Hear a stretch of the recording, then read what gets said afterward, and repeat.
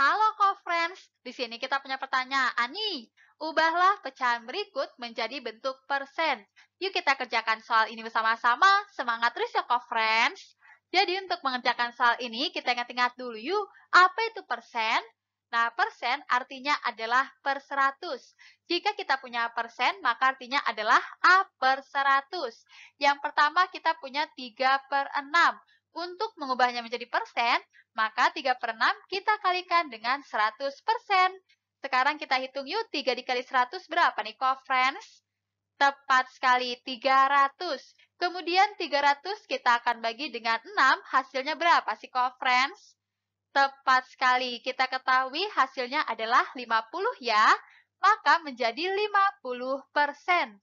Wah, mudah sekali kan, co-friends menemukannya? Sekarang kita kerjakan yang kedua ya, yaitu 19 per 20, maka kita akan kalikan dengan 100%.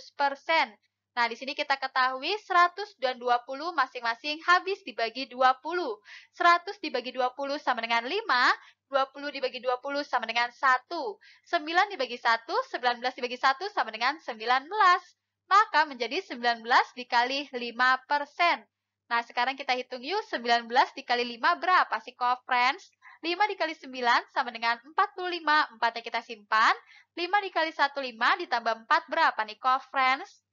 Tepat sekali 9 ya, maka hasilnya adalah 95%. Maka artinya 19 per 20 adalah 95%. Yang terakhir kita punya 3, 1 3 per 5. Nah, sekarang kita ubah dulu ya, 1 3 per 5 menjadi pecahan biasa.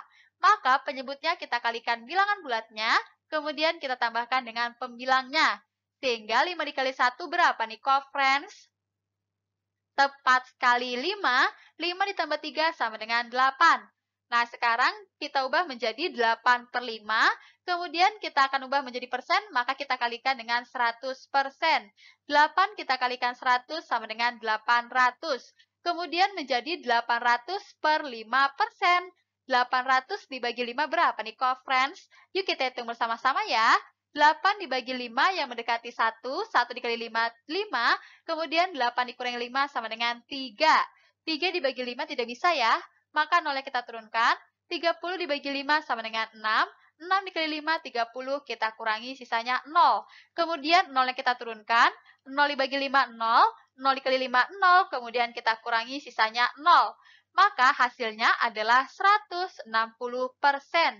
Wah, mudah sekali kan co-friends menemukannya?